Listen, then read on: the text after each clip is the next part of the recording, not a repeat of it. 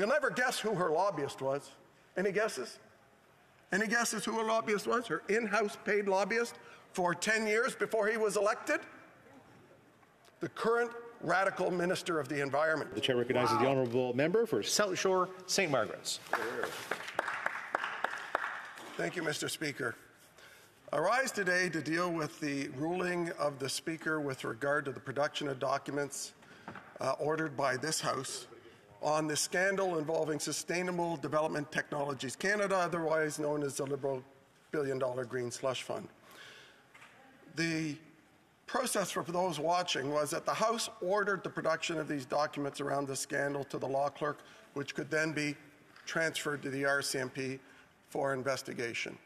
As we know, the power of, uh, of the House is greater than any one act, yet the Prime Minister's personal department, the PCO, decided to execute this order by telling departments to send in documents but redact them. As a result, that was, in our view, and obviously in the Speaker's view, a breach of members' privileges because the order from the House did not say redact. As a result, we're here to discuss this today, and it's been referred to the uh, PROC committee for further consideration. So, in doing this, it's pretty important to understand there's some objections from the government, as there has been, about some alleged uh, breach of the Charter. Well, there is no breach of the Charter, and here's why. If uh, a criminal activity is suspected in a company you own, say a bank, you're part of a bank management team, and you discover that somebody who works for you has stolen the money of depositors. That company has the right, indeed, it has the obligation to call in the police and to turn those documents over to the police. It does not require the police to go to court to get access to those documents. That owner of that company, that management team, can supply those documents to the police to start the investigation. Why does that matter with regard to this instance? We have a foundation that was set up in 2001 called Sustainable Development Technology Canada with the purpose of providing uh, taxpayer financial assistance to green technology companies before they're commercialized. Since this government has been elected, they've received a billion dollars of taxpayer money. And the result of that, and probing by parliamentary committees, is that we found that in 82%, 82% of the funding transactions approved by the Board of Directors during a sample period, a five year period that the Auditor General looked at, 82% of those transactions were conflicted. So that's a number. What does that mean? According to the Auditor General, that's $330 million of taxpayer money that was given to companies where the board members who voted to give it to that company, those companies, had a conflict of interest. In addition, the Auditor General found that that same board approved another $59 million of projects that they weren't authorized to do. They were outside of the mandate of the foundation that the government and parliament set up. They broke the SDTC contribution agreements, and these directors broke the conflict of interest laws of Canada as public office holders, and they broke the SDTC Act. So, how did they break them? What does that act say? Those two acts say. You know what they say? They say that a governor and council appointment a person appointed by the government entrusted to oversee taxpayer money is not to personally profit from their work on that committee as a GIC appointment, and neither is their family. Yet that's exactly what happened. It's exactly what happened. And the Auditor General found in a five year period where there were 405 transactions approved by the board, the Auditor General sampled 226, so only half of them, and found that 186 of those 226 transactions were conflicted. That's the 82%. That's the 330 million. If the Auditor General looked at all 400 transactions, statistically, that would probably mean the rest are just as conflicted. And that 400 transactions is 800 and $32 million of taxpayer money. So these liberal hand-picked appointees of the prime minister from the chair on got themselves into a position to benefit their own companies. So how did they do that and what were their conflicts? Every transaction, every bit of money approved by the billion dollar green slush fund, every single dollar had to be approved by the board of directors. And the way the system worked was that beforehand, they would send out a note of what transactions were on the board, and directors would declare a conflict. So at the beginning of every board meeting, they'd say, here's the list of transactions we're considering. Here is the list of which directors are conflicted with which companies. So now let's go to work. And in some cases, the director would stay in the room, according to the minutes, while they were voting on their own project. In other cases, the director would get up and leave the room while they voted on it, and then that director would come back into the room, and the next director would get out of the room for their project.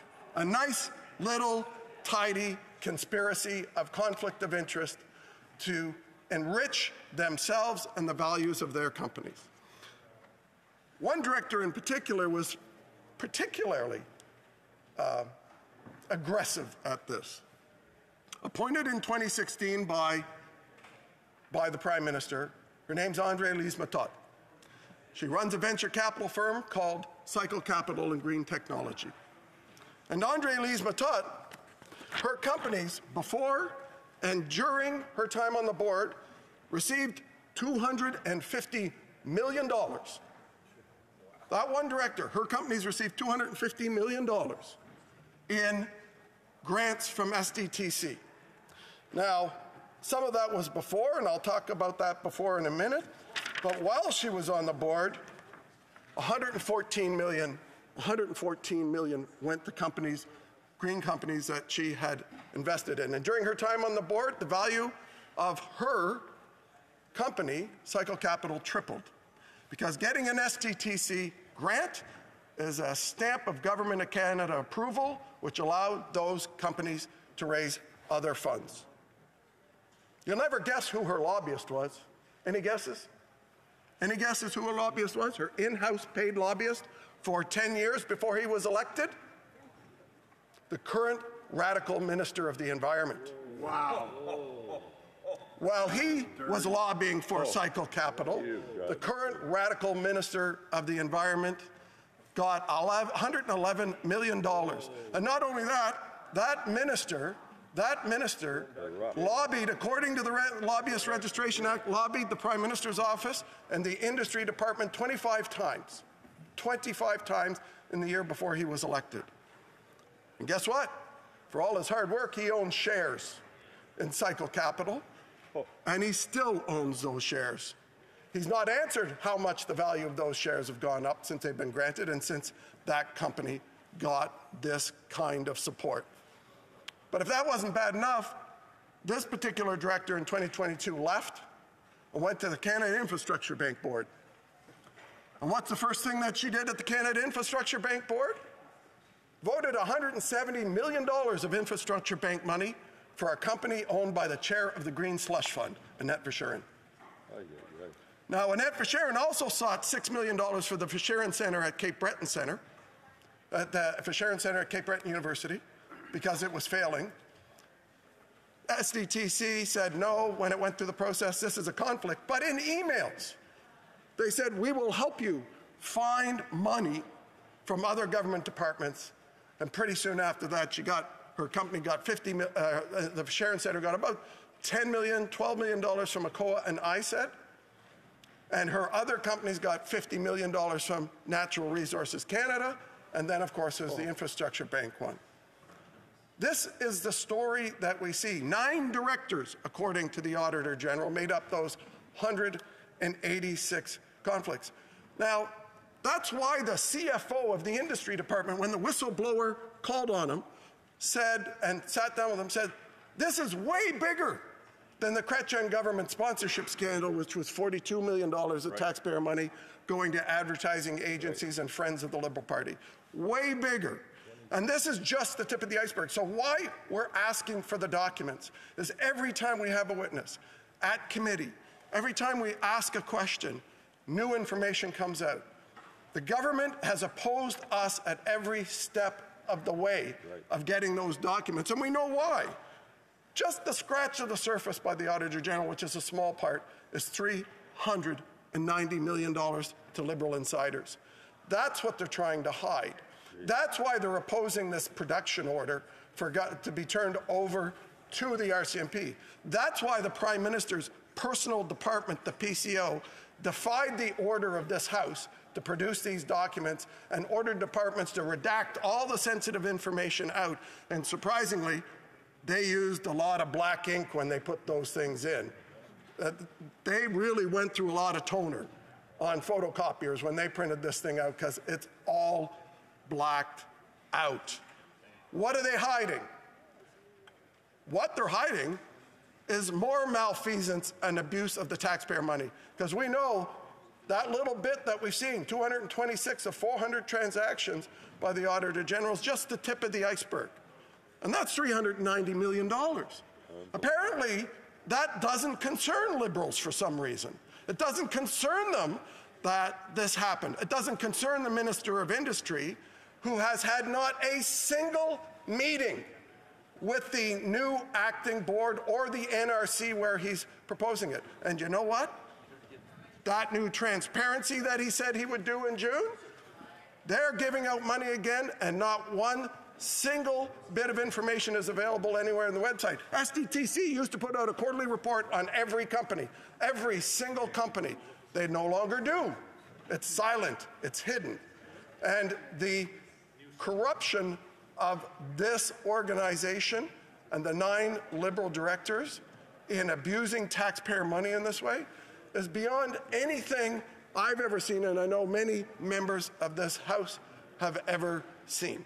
And Mr. Speaker, I understand I will continue with uh, enlightening the House after question period.